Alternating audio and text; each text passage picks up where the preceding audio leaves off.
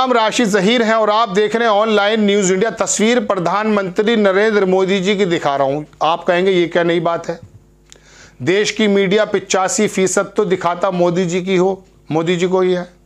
मैं नहीं कह रहा हूँ, ये तो न्यूज़ लॉन्ड्री ने कहा था पहले कि देश की मीडिया ने मोदी जी को लगभग चौरासी पिचासी परसेंट जो फुटेज खाया गया था, वो मोदी जी पर खाया गया था। और हिंदू मुस्लिम डिबेट पे हुआ था। तारक, तरक्की की कोई बात नहीं की गई थी। अब ये टाइम्स नाउ ने बताया है बड़ी मेहनत से और बड़ी शानदार पत्रकारिता की उन्होंने।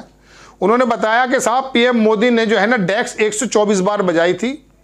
ड्यूरिंग द जब हमारी निर्मला सीतारमन दे रही थी भाषण, किस पर? बजट पर। 124 मरतबा, कि बताइए, गिनने को बैठा होगा पत्रकार। 124 मरतबा, times during Sitharaman shortest ever budget speech. ये मोदी जी की उन्होंने तस्वीर भी लगा दी है। अब देख देख लोगों ने तो पता नहीं क्या क्या लिखा है दर्शकों।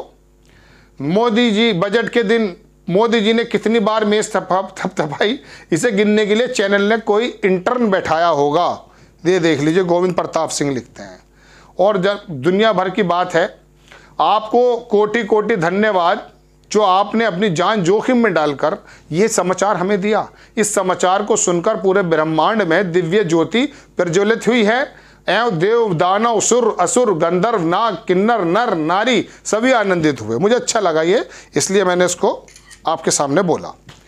तो इस सारी की सारी जो सलाहियतें थी, नविका कुमार का चैनल है शायद ये। नहीं, वो वो तो वो है ना, भारत में पहले टाइम्स नाव की बात चल रही है तो। टाइम्स ग्रुप की खबर है, क्या ज़बरदस्त खबर है साहब, कि मोदी जी ने 124 बार, मैं कहता हूँ कि बिल्कुल पीठ थपथपा दी शबासी दे दी ज़बरदस्त। बजट के दौरान। इस पर तो कंसंट्रेट हुआ। अब थोड़ी सीरियस बात कर लें। देखो, दर्शकों बात ऐसी है कि बजट के बारे में तो समझा मैं सकता नहीं आपको। क्योंकि बजट एक ऐसी जटिल समस्या है, आंकड़ों का खेल कैसे खेलती है, सरकार है, इसके बारे में मैं आपसे क्या बता सकता हूँ? बस इतना बता सकता हूँ दर्शकों कि बजट की बात का दो तीन तस्वीरें मैंने ली हैं। उसे अगर आप देख लेंगे तो आपको आनंद आ जाएगा। आनंद आएगा, नहीं आएगा, ये आप जानिए। देखिए, ये जो तस्वीर है दर्शकों, इस पर लिखा है रेवेन्यू सेंट्रल रेवेन्यू एक्सपेंडिचर हमारी आय और हमारा खर्च, इसको बजट बोलते हैं। 2023 में कैसे होगा? इसके अंदर रुपया लगा करके समझाया भी है कि रुपये में से चौंतीस पैसे जो ऊपर लिखा हुआ, ये बोरिंग है, उधार लिया जा रहा है। बहुत ध्यान रखिएगा, इसी बात पर बात करने वाला हूँ। नीचे कारपोरेशन से टैक्स लिया जा रहा है पंद्रह पैसे इनकम टैक्स लिया जा रहा पंद्रह पैसे, ठीक है? नीचे कस्टम की ड्यूटी चार पैसे यूनियन एक्साइज आप कहेंगे मैं बात क्यों बता रहा हूँ? छोटी सी बात है सुनी लीजिए एक दो मिनट और लगेंगे। और ये जी जीएसटी पे गया सत्रह पैसे कॉरपोरेट से ज़्यादा गरीब आदमी दे रहा है। सत्रह पैसे। ठीक है? जी गुड हाँ जीएसटी पर सत्रह परसेंट। और ये हमारा खर्च है। इसमें तमाम चीज़ें आ जाती हैं। इसको नहीं दिखाऊँगा आपको ये तो मैंने आपको सिर्फ़ एक चीज़ दिखाई थी। अब आपको एक चीज़ और दिखाता हूँ दर्शकों इसको देखिएगा स्क्रीन पर आपकी है। ये जो तस्वीर दिख रही है आपको, ये टोटल वो खर्च है कि जिसके अंदर ये बताया गया है कि हमने कितना पैसा कहाँ से लिया है और कहाँ जाएगा। हमारा टोटल जो बजट है वो 45 लाख करोड़ रुपए का है। 26 लाख रुपया तो इसके अंदर आमदनी हुई है और बाकी 18 लाख रुपए माफ़ी चाहूँगा। ये हमने अपनी जो पुरखों की जगह थी, पुरखों के घर मकान थे, वो बेच दिए। समझ गए? उपकर्म बेचें उससे आए हैं। इस तरह से ये 45 लाख करोड़ रुपया हुआ है। इसके अंदर 45 लाख करोड़ रुपए में 35 लाख करोड़ रुपया तो ऐसे ही खर्च हो जाएगा लोगों में, जो मैंने अभी आपको तस्वीर दिखाई थी। और बाकी जो 18 लाख रुपया हमने लिया था इसके अंदर, इसमें से 10 लाख करोड़ रुपया दर्शकों इंटरेस्ट के रूप में दिया जा रहा है। कौन से इंटरेस्ट के रूप में दिया जा रहा है? पचपन लाख करोड़ रुपया भारत पे कर्जा था मनमोहन सिंह की सरकार के दौरान तक 2014 तक। कई बार सुन चुके हैं घिसा पीटा डायलॉग तो नहीं है इंपॉर्टेंट है। अब 155 ताज़ा, उसके बता दूँ, एक सौ पैंसठ लाख करोड़ रुपए हो जाएगा। 100 लाख करोड़ रुपया हम पर कर्ज हो गया इन आठ छः आठ, नौ सालों में। साढ़े आठ, नौ सालों में, मान लीजिए। इसका जो ब्याज जा रहा है दर्शकों, वो दस लाख करोड़ रुपया जा रहा है। सत्रह लाख करोड़ रुपया हमारे हाथ में था, बचा हुआ। जो हमने बेच बाज के और उधार लेकर के किया है।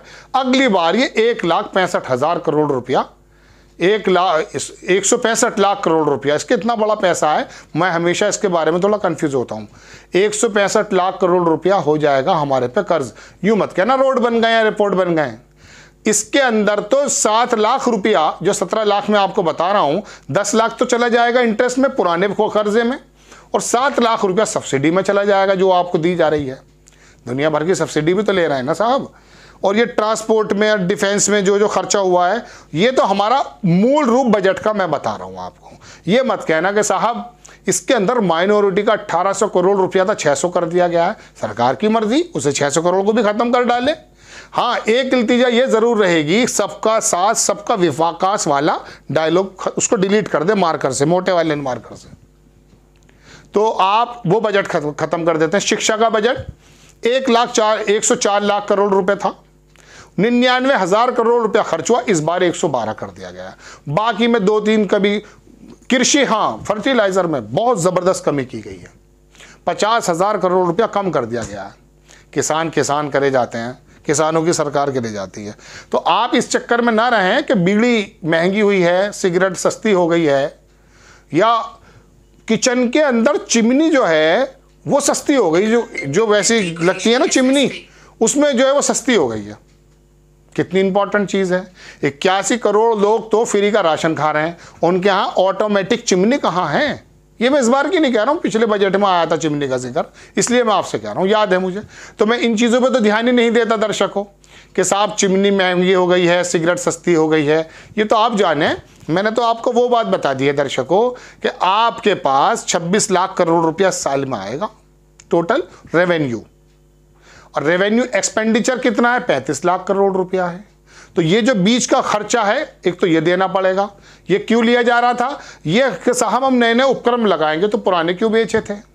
आप लोन कब लेते हैं? दुकान पर, चलती हुई दुकान पर। लोन जब लेते हैं, आपके पास सौ रुपए का धंधा है। आपने सौ रुपए का लोन और ले लिया। एक परसेंट उस पर ब्याज है।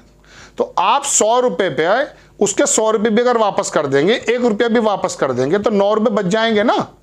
भाई, पाँच परसेंट का आपका प्रॉफिट है मिसाल के तौर पे, सौ रुपए पर। तो आपको एक सौ हो जाते हैं, लेकिन आप सौ रुपया बैंक से लेते हैं तो दो सौ दो सौ पाँच रुपये, दो सौ रुपये हो जाते हैं आपके पास। तो आप जो है, जब कमाएँगे तो दो सौ दस कमाएँगे ना। अब एक फ़ीसद पे वो ब्याज है तो सौ भी अगर वापस कर देंगे और एक रुपया वापस कर देंगे तो आपके पास एक सौ नौ रुपये तो बाकी बचेंगे, चार रुपये तो होंगे। ये होता उपक्रम। हमारी जो जीडीपी है, उसको बढ़ाने का तरीका।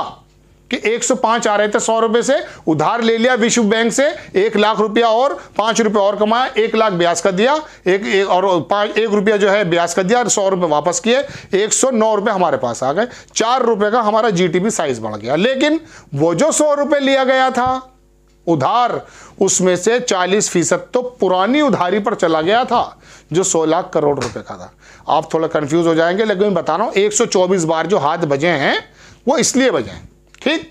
आपको खबर कैसी लगी, अपनी राय कमेंट्स बॉक्स में ज़रूर दीजिएगा। चैनल को सब्सक्राइब कीजिए, शेयर कीजिए। नेक्स्ट टाइम किसी खबर के साथ आता हूँ। जय हिंद। इस खबर को अभी लाइक करें, शेयर करें। अभी चैनल को सब्सक्राइब करें और घंटी ज़रूर